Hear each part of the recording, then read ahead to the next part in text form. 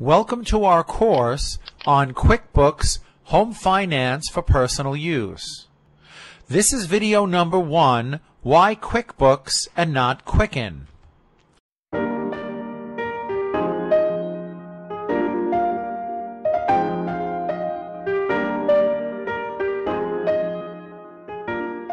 Many people have asked, if Quicken is meant for home finance, why should I use QuickBooks?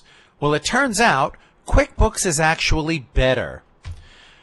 QuickBooks is better because it is more commonly used and therefore more people know it and it's easier to get help with tutorials and other kinds of resources.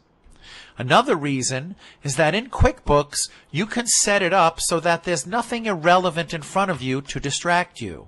Many people feel that they're just going to take the results of what's in QuickBooks or Quicken and send it to their tax accountant, and there's no reason to clutter up the program with taxes.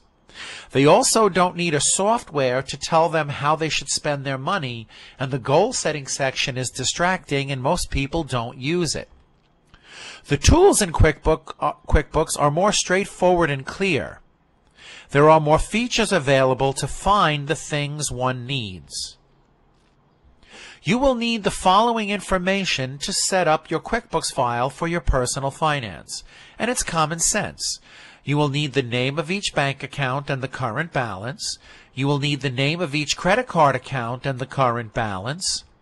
You will need a list of all your expenses. This is your personal expenses like veterinary bills for your pets, or uh, uh, school supplies, uh, or if you want to keep track of how much food you buy at the supermarket, those things would be on your list. You should also have a list of your income sources. Some people work two jobs or work at a job and have a part-time business, and you should separate each income source so that you can see where your money is coming in from. You should also have a list of the people whom you pay on a regular basis for the services and products that you need, such as your housekeeper, the name of your grocery store, uh, the name of your local gas station, and all of the different people or places where you spend your money. QuickBooks will be able to show you more clearly where your money is coming in from, show you more clearly where your money is going out to, show you your income and expense and account balances between specific dates. This way you can determine which month or which week was better for you financially. It'll also show every payment for a particular expense very easily, as well as every payment to a particular person or company. This is in case you have any kind of dispute or issue with that person. QuickBooks makes the information very easily available. You can also connect one of the transactions that you record into QuickBooks with a hard copy document.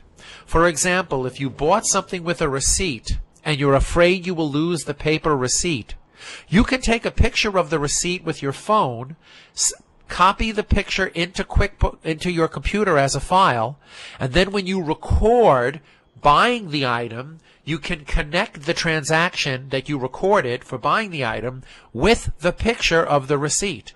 This way, if you lose the, the physical receipt, you could look in QuickBooks and find the transaction and print out a copy of that receipt. It's that simple. You can also find any transaction to or from anybody instantly, and you'll never be lost. Everything will be right in front of you. Just follow the video step by step. We will use only the features in QuickBooks that you need for home finance, nothing more. These are all very simple features. They require no computer knowledge, and it makes managing your home finance better than any other way you can. So sit back, relax, and enjoy the course, and thank you for watching.